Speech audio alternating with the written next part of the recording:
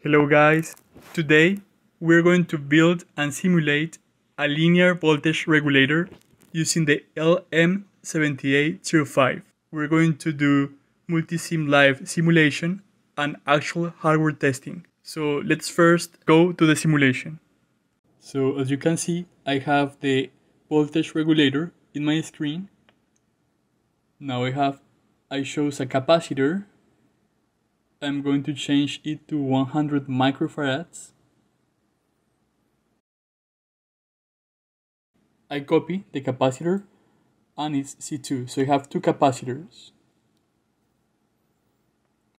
Now I select 1 kilo ohm resistor and a DC voltage source.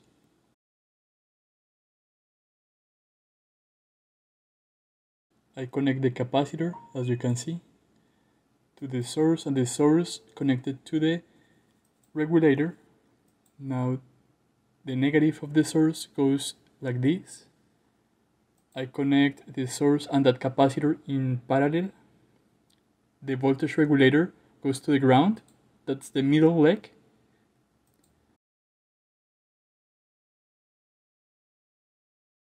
And the resistor is in parallel with C2. I'm going to plug in the ground right there.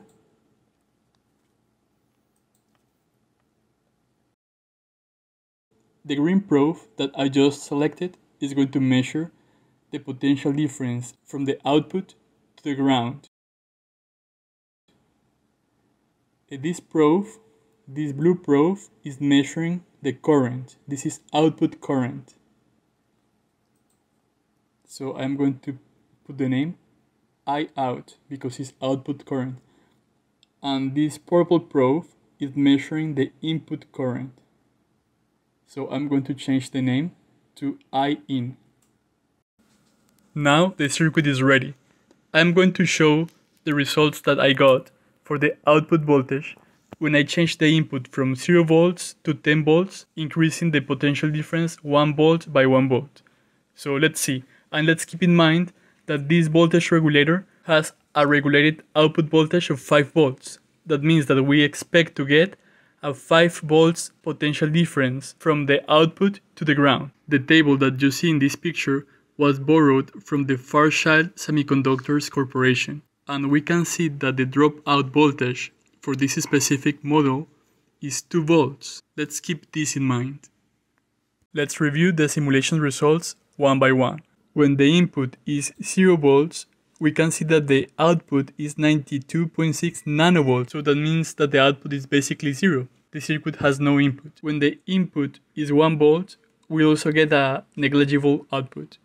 For input equal to 2 volts, we get almost 0.6 volts. When input is 3 volts, we get 1.56 volts, but this is far away from the 5 volts that we expect because this regulator it's supposed to provide 5 volts at the output. So even though we applied 3 volts to the input, we still get 1.56 volts that's below what we expect. When the input is 4 volts, we get 2.5 volts at the output. When the input is 5 volts, we get 3.5 volts at the output. So we're increasing but still not in 5.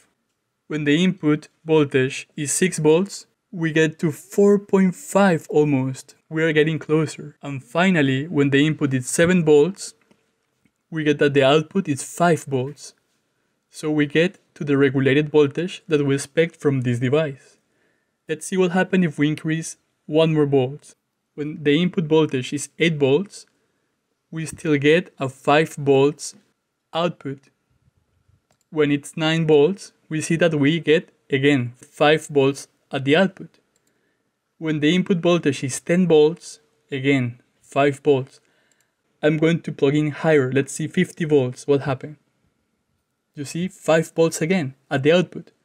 Let's see what happens if I plug in 100 volts. Again, the output will be 5 volts. But be careful because in real life, if you plug in this and the potential difference is very high, with respect to the regulated output, the device is going to dissipate a lot of power and this is going to be very hot. So you may install a heatsink to cool it down. otherwise it is going to melt the breadboard or even catch fire, so be careful. We got from simulation results that for input equal to 0 volts, output negligible, that we see from this graph. When the input voltage increases, the output voltage increases to a point where it stabilizes at 5 volts. That is a regulated voltage. You see that there is arrow at 7 volts because at 7 volts was the first time that the output got to the regulated voltage, that 5. That means that 7 volts is the minimum input voltage for this device to work properly. We saw from the device specifications that the dropout voltage is 2 volts. That means that if the regulated voltage is 5, we have to add 2 volts of the dropout voltage to get the minimum input that we must apply. Okay guys, so now that we analyzed the simulation, let's go to the hands-on experiment. I am going to use 1 kilo ohms resistor, two 100 microfarads electrolytic capacitors, and one LM7805 voltage regulator. You can see from this picture that the middle pin is the ground, the left is the input, and the right is the output. I'm going to build the circuit as follows. It is very important to connect it correctly. So you see that I'm going to insert the voltage regulator in the breadboard as follows. The middle leg goes to the ground. This black cable is going to connect the middle leg to the ground. I'm going to use the whole blue line as ground. Then I'm going to connect the electrolytic capacitors. So it is important to connect the positive, long leg is positive, so the positive leg goes to the input and the short leg goes to the ground. So this long leg is going to the input, is going to the input, and the short leg is going to the ground, as I'm showing in here. I'm going to connect the other capacitor to the output. So the long leg goes to the output, meanwhile the short leg goes to the ground. I'm going to connect this resistor to the ground and to the output. So this leg, this pin goes to the ground of the resistor and the other leg goes to the output. So we can see that the one of the electrolytic capacitors is connected in parallel with the resistor. This is 1 kilo ohm. So I'm going to connect this red cable to the input. So this cable is going to transfer the input signal to the voltage regulator and I'm going to make this red aisle as input and the blue aisle is going to be ground. So you see that anything that I connect to this plus red aisle is going to be input and goes to the input in the regulator. Because I don't have a DC source generator, I'm going to use batteries as an input for this experiment. We need to measure the potential difference from the ground to the output of the linear voltage regulator. So this is going to be the ground and this red wire is going to measure the output voltage with respect to the ground. These are my multimeter probes. I'm going to turn on into DC voltage. And I'm going to connect the red probe of the multimeter to the output of the linear voltage regulator. And let's connect the black probe of the multimeter to the ground. So I'm going to measure the potential difference from the ground to the output of the linear voltage regulator. So these two probes are connected as shown to the ground and to the output. Because I don't have a DC power supply, I'm going to use batteries to plug in into the input. So this red cable is going to be the input and it's going to transfer like this to the input of the voltage regulator and the black cable is the ground. So let's see what happens when I connect as shown. We see that we don't have any output. It's really low. So I'm going to have nothing. It's really low. Now I'm going to use a 9 volts battery. Let me measure. So I'm unplug the circuit and I'm going to use the same multimeter to measure how much is the potential difference across this battery. And we see that we have around 8.7 volts. Let's see what happens if I connect it. I'm going back to plug in the multimeter across the ground and the output. Remember, this is ground and the red cable is showing me the potential difference across the ground and the output. Let's connect this Oh, you see. Now that I connect the 8 point volts to the circuit, I got 5.36, almost 5. The reason why is because this is an L7805. This is going to regulate to 5 volts. So let's use a higher voltage. So I'm going to connect these batteries in series to have a higher potential difference. So now let's take the multimeter and measure. This is going to the plus and this is going to the minus. And we get 11.85 volts of potential difference. Let's apply this potential difference to the circuit. So black cable goes back to the circuit and the red cable is going to measure the potential difference from the ground to the output of the voltage regulator. Let me connect the ground, negative, and let's connect the positive to the input. And we can see that we have 5 volts as expected. Even though we connected a higher potential difference input, we continue to have 5 volts at the output of the voltage regulator with respect to the ground we have the same 5 volts. Now let's connect an even higher potential difference.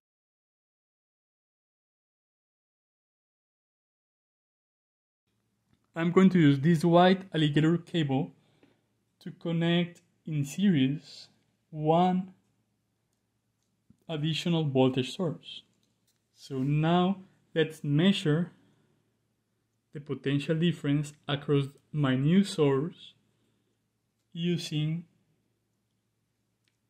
the multimeter. And we see that now we have 16.6 volts. So I'm going to apply an input of 16.6 volts to the voltage regulator. Now let me go back. The multimeter is going to be plugged in to the circuit. So this is going to the output and the multimeter is going to measure again, let me remind, from the ground to the output of the voltage regulator. Now let me apply these 16 volts that we just measured. This goes to the ground, this is the minus of the voltage source, and this is going to the plus. So this is the 16 volts input.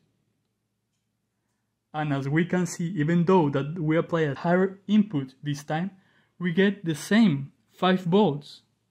This happens because this circuit is a voltage regulator.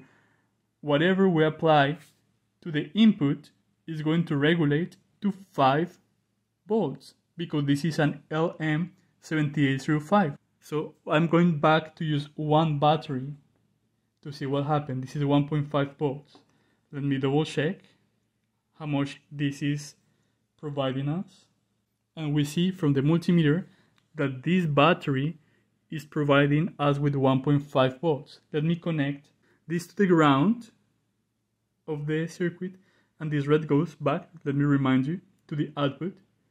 Let's see what happens if I connect these 1.5 volts.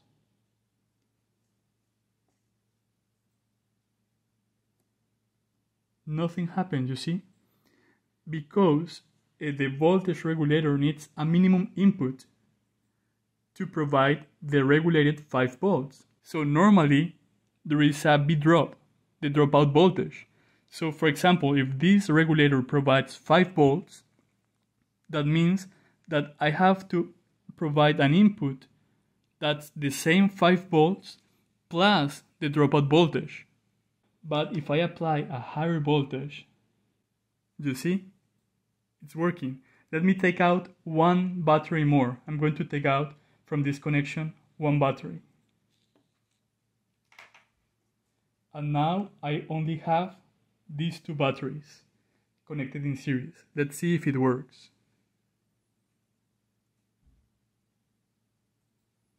And it didn't get to the regulated voltage. You see, it is, lower because although we get close to the optimal potential difference, it is not enough.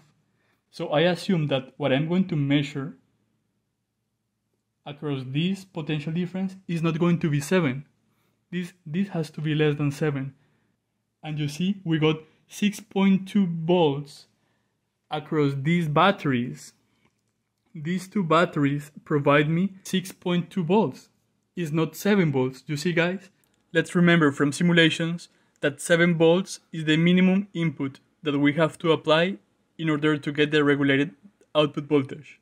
Any input below 7 volts will give a lower output voltage, but any input equal or larger than 7 volts will provide the regulated output voltage that is 5 volts. So let's back to the circuit and connect a higher voltage source, let's say an 8.8 volts. So you see that this one is around 8.8 volts. So this should be enough to get to the 5 volts regulated voltage. This should be enough. So let me connect back to the circuit guys. Let me remind you because we want to know exactly what I am measuring. I get back to the to the circuit and this should be enough to get the 5 volts. And yes guys, we get 5 volts regulated because this source is enough. Okay guys, I hope that you enjoyed this video. Remember to give me a thumbs up, share it with your friends, your geek friends, your girlfriend, and anyone who likes electronics and experiments and things like that. Thank you guys, I'll see you the next time.